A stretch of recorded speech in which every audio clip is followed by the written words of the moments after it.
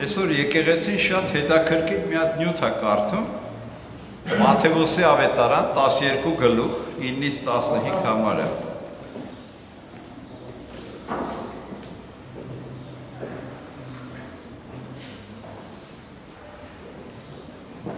Հենց այդքանն է կարդում, շատ կարճ էր, դրա համար ինձ շատ մտահոգեց, ինչի է եկեղեցին այս նյութը սենց բարձրացայնում։ Հանն հոր եւ որդվո եւ հոգնույն սրբո ամեն։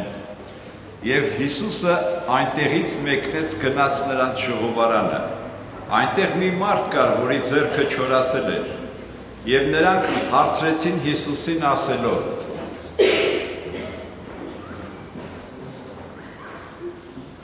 Օրինավոր է շապոտորը բժշկություն անել,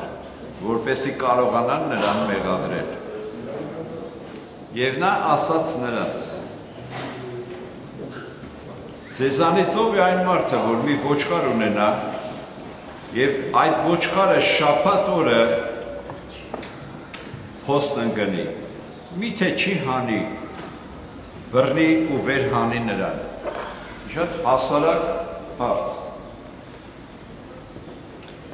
Որքան ավելի մարդը ոչխարից ավել է։ Հետևաբար օրինավոր է շապատորը բարիք գործելը։ Ապա ասաց այդ մարդուն. ձերքդ երկարիր։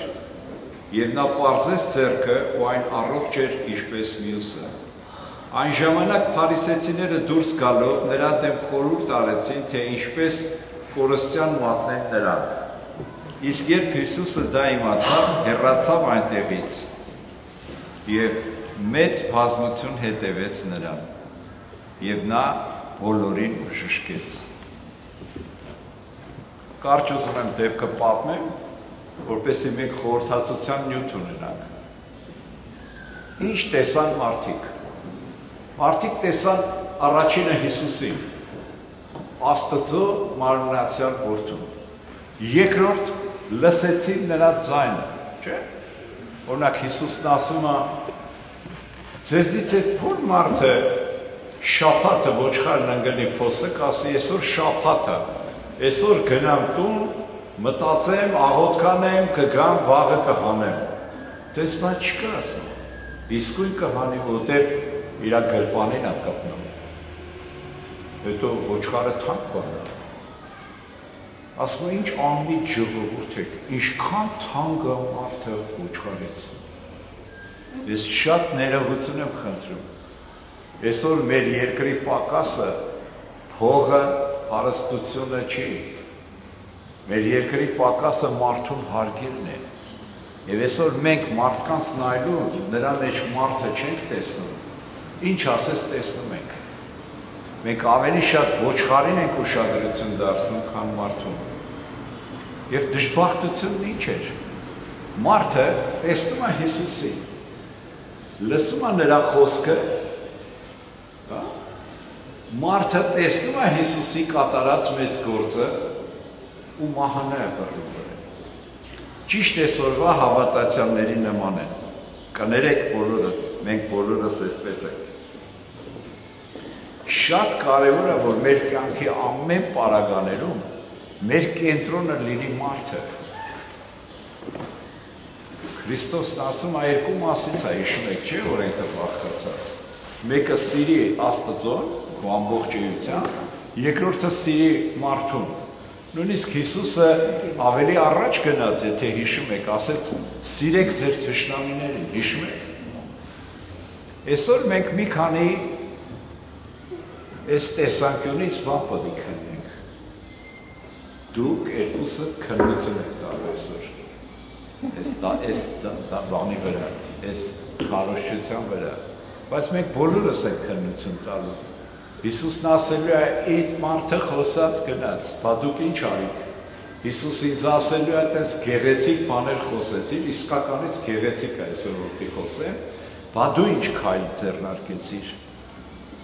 Հիշում եք լուսավորչի մասին մեր քարոզը։ Լուսավորիչը մեր ընդհանուր հայրն է։ Լուսավորիչը աշխարհ եկավ, խենք ասում լուսավորիչ։ Առաջինը որ Քրիստոսի փառքը բերեց Հայաստան, լույսը, ճիշտ է։ Երկրորդ մեզ սովորեցրեց սատանայից դևերից ազատվելու գաղտնիքը։ Հիշում եք, որտեղ որ քուրմերը դևեր էին հանում, այդտեղ պատարակի խորան դրեց եւ սկսեցին աղոթքներ անել։ Հիշում եք, եւ դևերի հոսքը դադարեց Հայաստանի աշխարհում։ Էլ ինչ արեց ոչ միայն դևերից ազատվել սովորեցրեց հայերին, հապա մեղքից ազատվել։ Ինչ է մեղքը։ Մեղքը օբյեկտիվ իրականություն է, որ մեր մարմնի մեջ ներգործում է։ Հետաքրքիր է, որ մեղքը այն բոլոր բաներն են, որ Աստծո օրենքին հակառակ են։ Եվ այդ Աստծո օրենքին հակառակ եղող բաները չարը մեզ ներգործում է, որ մենք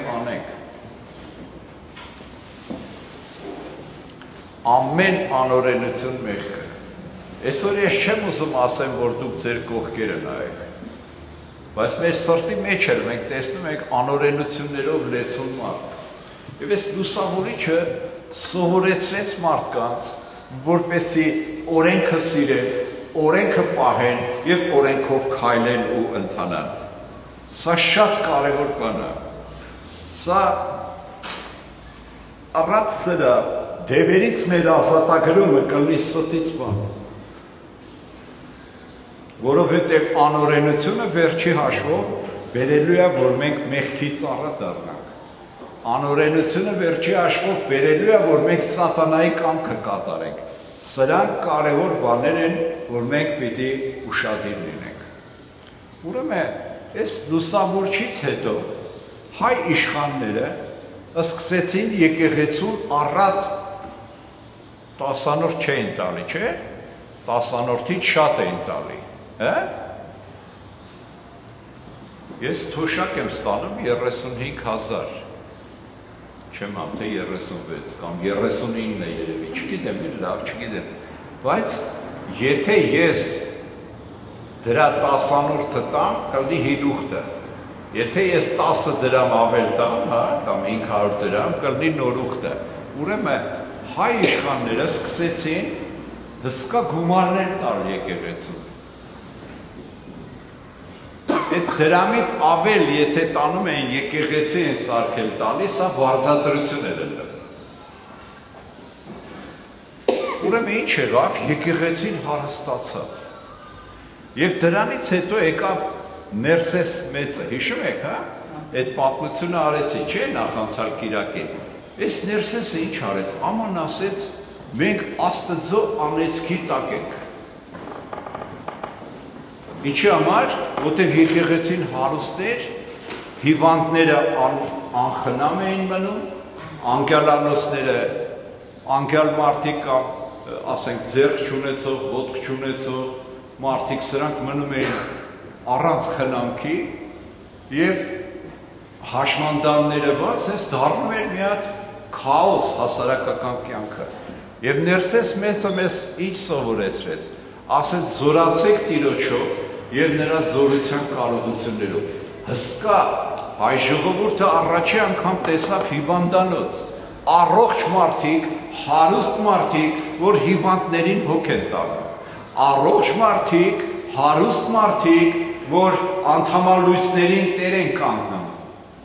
Սա հեղափոխություն էր հետո որբեր կային, որբևարիներ կային, եկեղեցին սկսեց սրանց հոգ տանել։ Ինչ եղավ սրա արդյունքը։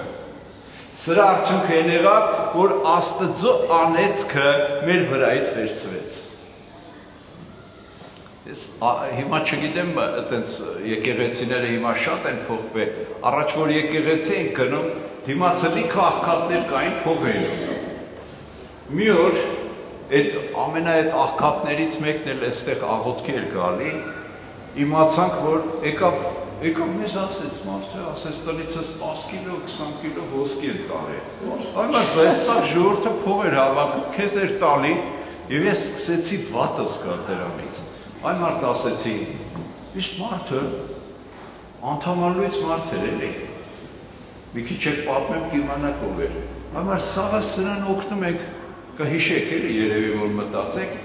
էլ այս մարդու 10 կիլո, 20 կիլո, չգիտեմ, այստեղ քանի հոգու տանը այդքան ոսկի կա, չեմ ճանաչում դες մարդ։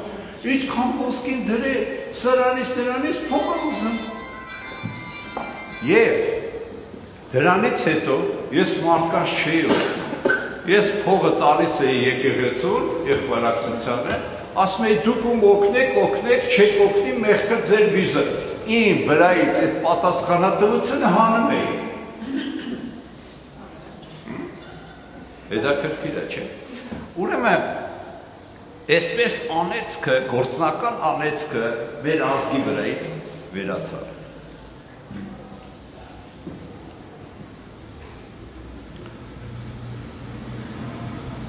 Կոմասը Անցյալ 3 շաբթի Մանեի ու Նունեի տորներ, հիշում եք։ Սրանք ինչով էին իրար տարբեր եւ իրար նման։ Սրանք հրիփսիմյանց կույսերից երկու երիտասարդներ էին։ Աստված սրանց մեջ դրել էր, որ ստեղ չմնա։ Գնան, ուր, չգիտեմ։ Գնան հյուսիս։ Հայաստանի հյուսիսում էլ որն էր, Վրաստանը, չէ՞։ Եվ սրանք գնում են Վրաստան։ Բայց Աստծո հոգին այս երկու աղջիկների մեջ տարբեր ներգործում ունենում։ Մեկը նունեն Աստվածային Սուրբ Հոգու զորությամբ ինչ անում, հիշում եք, քարոզում։ Մանեն ընդհանրապես չի քարոզում։ Ինչ անում, ով է հիշում։ Աղոթքեր անում։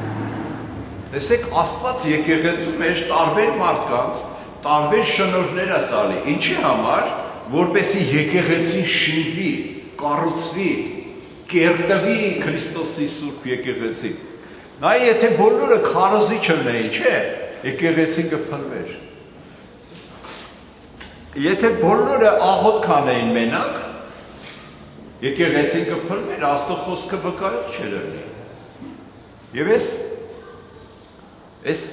ջահել կուճուր աղջիկը նունե կարողանում է Վրաստանը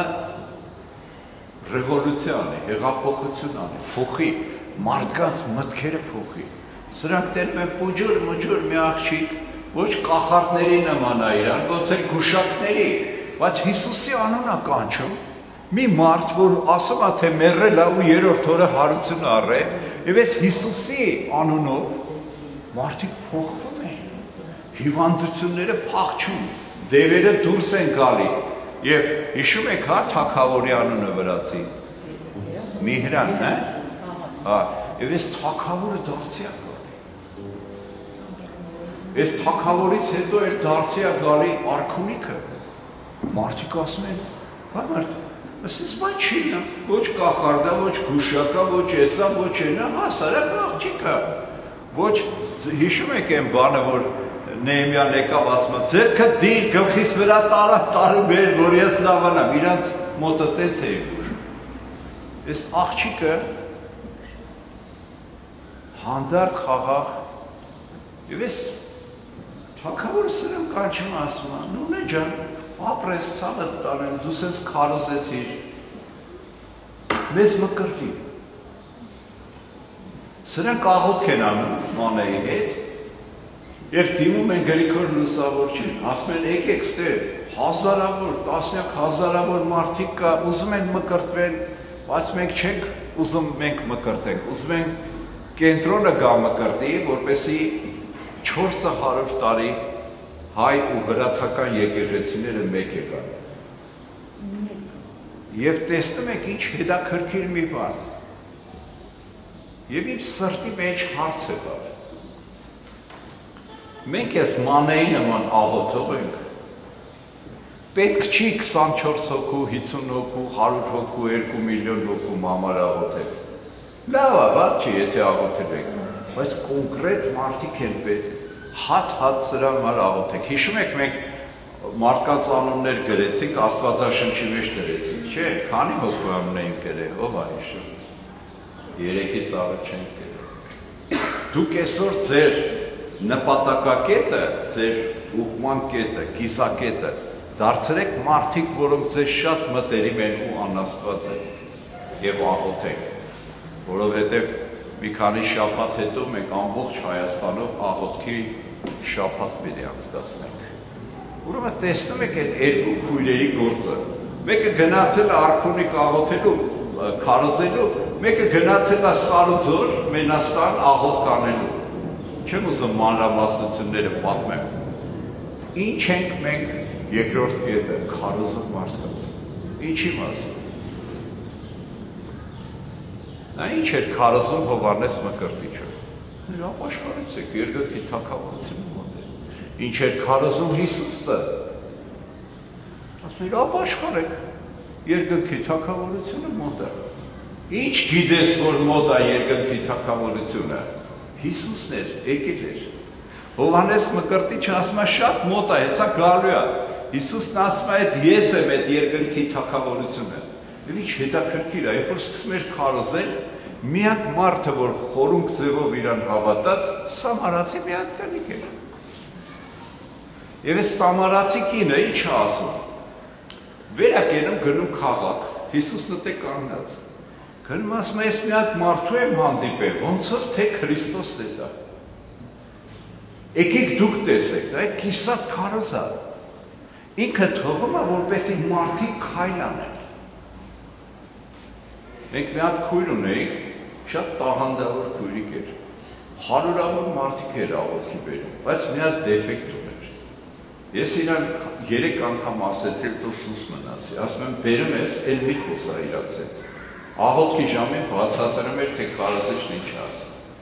Ասում եմ, սխալ է։ Մենք պետք է թողենք Սուրբ Հոգի խոսա։ Մենք պետք է թույլ տանք, որպեսզի այդ մարդը Աստծուն ճանաչի, Աստծո հետ հարաբերվի, Աստծո հետ ընկերություն անի, Աստծո հետ ուղղորդվի, նրանով քայլի, նրանով ընթանա։ ինչ հետաքրքիր էր այդ մարդկանց այդ վիճակը։ Այս մարդիկ նայում են ինչ-որ մի հատ աղջիկ։ Ասում է Հիսուս Քրիստոս, այս մարդուն բժշկի նունեն, հա? Բժշկվում է։ Իրանք ասում են Հիսուս Քրիստոս բժշկի չի, չեն բժշկվում։ Այսինքն նունեն ու մանեն Աստծուն ծանոթ էին։ Աստծուն հարազատ էին։ Աստված նրանց լսում էր։ Ինչի՞ էր լսում։ Հիսուսն ասում է իմ ոչխարները, հիշում եք, իմ ձայնը լսում են։ Ես էլ նրանց անուններով եմ ճանաչում։ Ուրեմն ես հույս ունեմ, որ Աստված ինձ ճանաչում է։ Ասում է Զաքարյան Համլետ, որ առաջ երրորդ մասում էր ապրում, հիմա Զեյթունում, ինձ ճանաչում։ Ինչ գիտեմ շատ կարևոր է այս բանը, այս հարցի պատասխանը, որով մենք քարոզը կարող ենք ավարտել։ Աստված Ես հիմա, որ ինձ նայում եմ Աստծո լույսով, ես հիմա տեսնում եմ, որ շատ մեղավոր մարդիկ են, մարդ են։ Ես իմ հանցանքներն եմ տենում։ Փոխանակ կողքինիս հանցանքները տեսնեն, քննեմ իր կյանքը, ես իմ մեղքերն եմ տեսնում, տենում եմ, որ բավականին լուրջ է։ Եվ ես աղոթում եմ։ Աղոթքից բացի ես աշխատում եմ շտկվեմ, աշխատում եմ փոքր աննշան բաներ, բայց ես դրանք Աստծո զորությունով կատարեմ։ Հենց չեմ կարող կատարեմ, ինչ եմ անում։ Աղոթք եմ անում։ Ասում եմ Տեր Աստված, դու ուզել ես, որպեսզի ես չբարկանամ, հա? Ինչ շատերը ասում են, բա որ ջղայնանամ, ինչ անեմ բարկանամ։ Ինչ եմ ասում, հիշում եք։ Գնա, լվացվի։ Ջուրը քիչ է, գնա ջուր խմի։ Ջղայնացել եմ, պետք է գորգռամ, չէ՞։ Հա, քո վրա հասմիկի։ Այդ ժամանակ ես ինչ եմ անում։ Ես ջուր եմ խմում։ Մի քիչ հետո տենում, արա, ես բղավում, երեխաներ եք, ախմախ բան են արել Ուրեմն տեսեք շատ կարևոր բան է։ Փոքր բաները Աստծո տնտեսության մեջ շատ կարևոր բաներ են, որպեսզի մենք խասյատ դարձնենք, սովորություն դարձնենք, սովորույթ դարձնենք մեր կյանքում փոքր բաները Աստծոն ապավինելը։ Սա էական բան է քրիստոնեական կյանքում։ Մենք մի բանից, որը սկսենք, մի բանը սկսենք զարգացնել, Օրինակ սուտ չխոսալը։ Մերոցից մեկը ինձ ասում էր, ո՞ց սուտ չխոսամ, բայց մարդը բանը հարցնում, ես չեմ կարա ասեմ։ Չեմ կարա ասեմ, սուս մնա։ Մենք չեմ ամ դուք հիշում եք որ ռադիո կար առաջ։ Այդ ռադիոն սենց երանը ճտտում էր, սենց բարձրացնում էր, խոսում էր, չէ՞։ Խոմ եք ռադիո չի։ Ով ինչ հարցնի քեզ պետք է պատասխանես կամ պետք է խափես, չէ։ Ես կանամ լուր մնա։ Հա? Ես սովորացրել եմ, երեխեքին էլ եմ սովորացել։ Այդ շորը որտեղից։ Դու մի ասա որ քուրս ա տվել։ Դու ինչ դասես, ասա այսօր անկոմացա։ Ախես, դու ամեն բանի պարտավոր չես ոչ մեկին պատասխանես։ Օրինակ տեսեք, Պիլատոսը նայում էր Հիսուսին, հա? Չէ՞։ Նայում Հիսուսին, աշկերը տնգծրե Հիսուսի վրա սենց հա։ Ինչ հա ճշմարտությունը։ Դու տնաշեն դու ճշմարտությանը նայում ես։ Բայց որ չես տեսնում, ով կարա քեզ բացատրի։ Հիսուսն ինչ արեց, հիշում եք։ Լուր մնաց։ Ինչի համար։ Որտեղ այս Պիղատոսը ասես նայում է ուշադիր Հիսուսին, ասում է ինչ է ճշմարտությունը։ Ճշմարտությունը Քրիստոսը։ Ճշմարտությունը անձնավորությունն է, որ մենք շատ բաների հետ խանում ենք։ Ես շատ եմ ուզում, որ մենք աղոթքի մեջ ժիտ լինենք։ Սա ինչ է նշանակում։ Ես մարդկանց Քրիստոսից պատմում եմ, մարդիկ չեն ընդունում, հա? Ես կարամ մարդկանց համար, որ վկայում են, այդ մարդկանց համար աղոթեմ։ Եվ սա պիտի լինի աղոթալից մի կյանք։ Ամեն բանի համար, ամեն բանից առաջ աղոթեք եւ այդ բանի վրա հսկեք։ Հա? Հսկեք Սա շատ կարևոր մի հատ գործուն է, երբ որ մենք սովորենք հսկելը։ Հիմա վերադառնանք մեր կարդացած նյութին։ Ուրեմն նյութը ինչ է։ Հիսուսը շաբաթ օրը գնաց ժողովարան, մի մարդ կար ձերքը չորացած։ Չեմ ամ դու, ես մի հատ ընկեր ունեի, ձերքը սենց էր։ Ոչ կարմեր բարձրացնի, ոչ կարմեր շարժի, ոչ կարմեր սենց անի։ Բաներ էլի, հաշմանդամ էր։ Եվ այդ հաշմանդան մարդուն Հիսուս հարցնում, ասում է, այսօր շաբաթ ուր է, ինչ եք կարծում։ Կարելի է այս մարդուն ես բժշկել։ Չէ, ասում են, ինչ բժշկել, այսօր շաբաթ է, Աստված ասել է գործ չանես։ Հիսուսն ասում, ախր դուք որ մի հատ ոչխար ունենաք, ոչխար, անասուն էլի։ Այդ անասունը փոստ ընկնի։ Դուք կհանեք, թե կգնաք մի հատ մտածեք, հարևաններին հարցնեք, ոչխարս փոսից հանեմ, թե չէ, ինչև այդքան աներ, ինչ կներ, գելը կուտեր։ Շատ էլ լավ կուտեր։ Լավ ախորժակով կուտեր։ Ուրեմն, Ինչ էր եղել հрьяների մեջ։ Ճիշտ մեր նման էին տարել։ Եվ սրանք վեր կացան, ասма ուզում էին Հիսուսին բռնել, որպեսզի սպանեն, հիշում եք, չէ՞։ Խես սպան, ասма նա շափատ օրը գործ արել։ Հիսուսն էլ ասма լա ոչխարին դուք սիրում եք, ոչխարին հանում եք քոսից, որ ճիշտ է կարող էլի գելեջուտի։ Բայց ասում ասում Աստծո զավակին ես չոքնեմ, որ լավանա։ Ինչ ձևի է բժշկում Հիսուսը։ Հիշու Հիսուսը այս մարդուն որ ձեռը չորա էլի։ Ասում է հələ ձեռը չարժի, ոչ շարժի, չի կարող։ Իսկ մարդն էլ ասկսում հավատալ որ կլավանա։ Երբ որ ձերքը շարժում է, բժշկվում է։ Դերադիրը։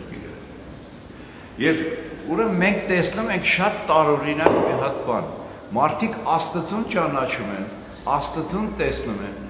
Աստծո ձայնը լսում են, Աստծո արած հրաշքները տեսնում են ու վիճաբանություն են անում, վիճում են իրանց մեջ։ Աստծուն հավատան թե չէ։ Աստծուն վստահեն թե չէ եւ որոշում են, որ Աստծո ուղարկած միածին որդուն ինչ անեն, սպանեն։ Ուրեմն երբ որ մենք հետամուտ չենք լինում Գրիգոր Լուսավորչի ներսես մեծի կյանքի